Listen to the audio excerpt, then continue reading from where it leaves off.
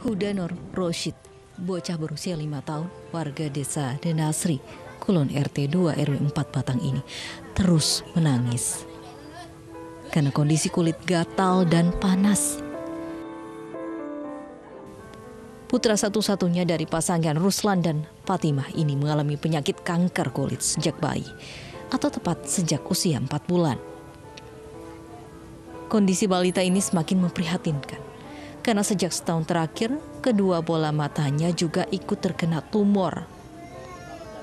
Bola matanya kerap berdarah jika Huda menggaruk karena merasa gatal.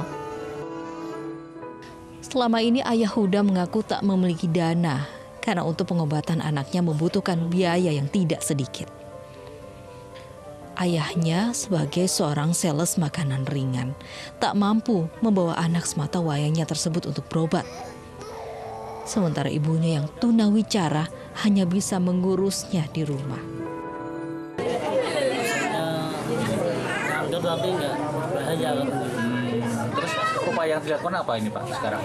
sekarang ini kan udah berobat jalan ke Karyadi udah cek cek segala macam lah itu loh. terus katanya nunggu panggilan Sementara Huda dan keluarganya hanya terdaftar di BPJS Mandiri yang tidak semua biaya pengobatan bisa ditanggungnya.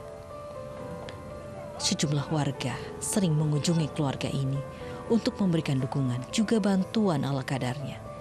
Kedua orang tua Huda terus berharap ada dermawan yang bisa membantu untuk biaya kesembuhan buah hati mereka.